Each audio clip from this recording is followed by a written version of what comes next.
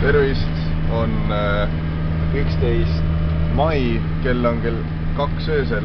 olen õhtuses vahetuses suures traktoris, vaata ei näe vist mitte midagi. nüüd läheb natuke paremini.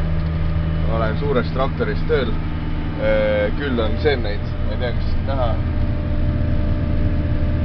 kõike ei ole vist näha.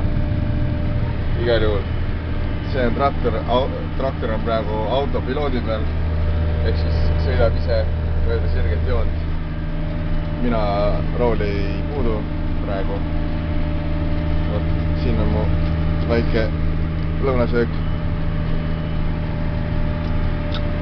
mm.. kuuleme, mis siis ka kohalikust Austraalia raadiost tuleb. Oh. see on ju Peeter Tooma. ja, ja, ja ükskord plahvatab vimm, mis koguneb salaja